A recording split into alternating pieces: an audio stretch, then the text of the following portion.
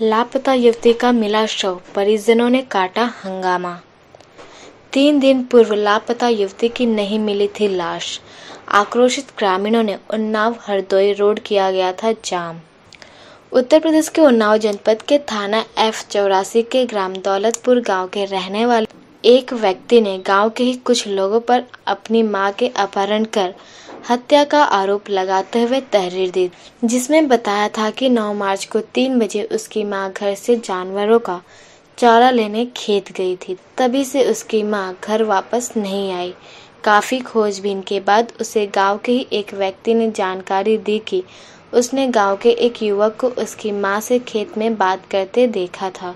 वहीं मृतिका के लड़के ने गाँव के एक युवक मदन पर आरोप लगाते हुए तहरीर दी थी कि इन्हीं लोगों ने उसकी माँ का अपहरण करके और हत्या करके कहीं फेंक दिया है और पुलिस द्वारा अभी तक कोई कार्रवाई न किए जाने से ग्रामीणों में काफ़ी रोष व्याप्त था, जिसको लेकर कल ग्रामीणों ने उन्नाव हरदोई मार्ग जाम कर दिया और ग्रामीणों ने पुलिस पर पथराव भी किया, जिससे मौके पर भारी पुलिस बल तैनात मौके पर पहुँचे। उप जिलाधिकारी व अपर पुलिस अधीक्षक ने जल्द से जल्द खुलासे के आश्वासन पर ग्रामीणों ने जाम खोला। काफ़ी मशक्कत के बाद कल देर रात पकड़े गए अभियुक्त की निशानदेही पर खेत से युवती का शव खोद कर बरामद कर लिया गया और पोस्टमार्टम के लिए जिला अस्पताल भेज दिया गया, जहाँ आज उसका पोस्टमार्टम कर शव को परिजनों के हवाले कर दिया गया और अभियुक्त को उचित धाराओं में निरुद्ध कर जेल भेज दिया गया। पेश है उन्नाव के संवाददाता सहबान मलिक की खास रिपोर्ट। थाना फतेहपुर चौरासी जिला उन्नाव के अंतर्गत दिनांक 10 मार्च को एक महिला, जिसकी उम्र 50 वर्ष है, उसकी गुमशुदगी की रिपोर्ट दर्ज कराई गई थी।